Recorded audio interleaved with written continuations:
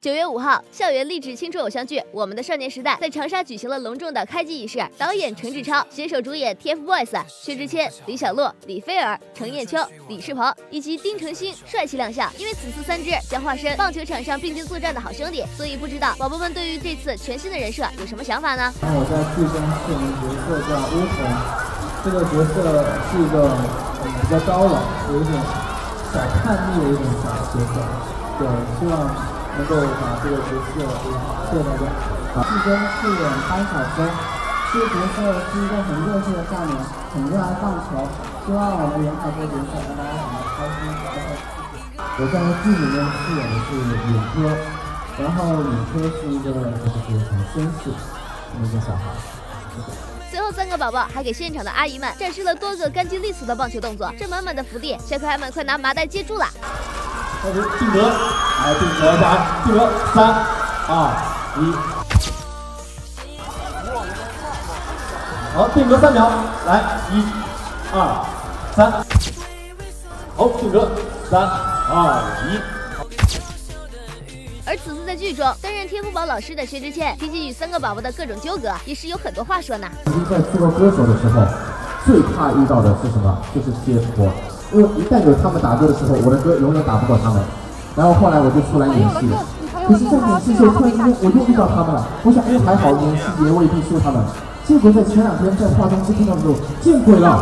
三个都长那么高，三个都发育了。我我的天！然后我发现我根本没他们高，所以今天我又垫了很高的高鞋垫过来。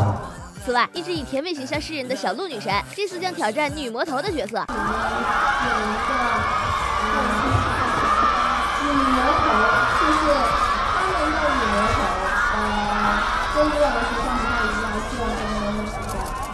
最后，在薛老师的帅气开球中，主演们一起正式启动了开机仪式。不过不知道，私下已经练习了棒球的三只，目前的水平又是怎样的呢？是一个呃可以拍的一个水平，但是就是只能拍，对对对，不能在人家面前展示，对摆拍一下。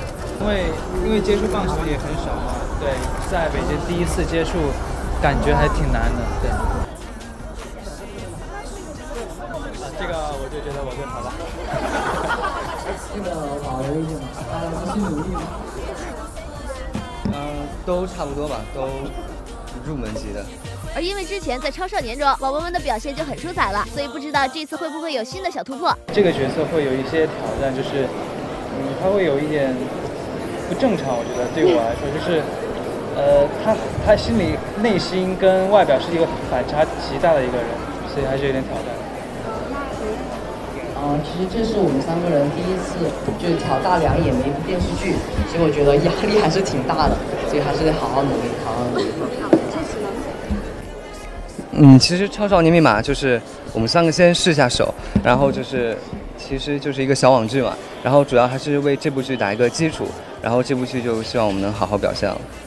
因为马上就是我们小队长十七岁的生日了，不知道两个弟弟会给大哥准备什么样的小惊喜啊？没有，反正他喜欢看一些动漫，然后就是很中二的东西。芒果老师们，梦想全雷达，青春正当时，勇敢帅气的三个宝宝，快去创造属于你们的奇迹吧！报道。